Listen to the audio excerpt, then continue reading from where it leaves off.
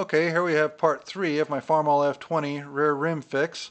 And as you can see, the patch is welded in there.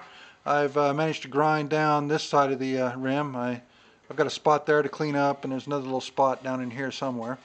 But uh, for the most part, it's actually smoother than what it is out here in this, this pitting. I'll have to hit the whole thing with a wire wheel and, and do a little touch-up grinding here, but uh, this side is essentially ready to go as far as the patch goes. Now let's roll it over here. Now let's see if we can zoom in a little bit.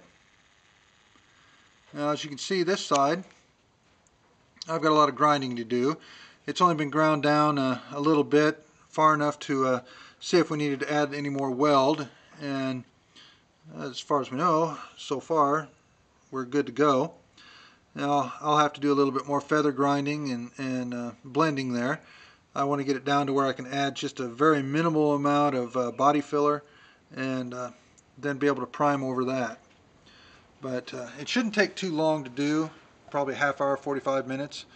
But I hope to have it done in the next few days and then I can go ahead and use the wire wheel on the on the rest of the rim inside and out and then I'll be ready to mount some rubber on them and then I can uh, get my uh, tractor out of the barn and uh, do some cleaning up in here. But all in all, the rim is uh, pretty much done except for some feather grinding. And uh, that'll get done hopefully in the next few days.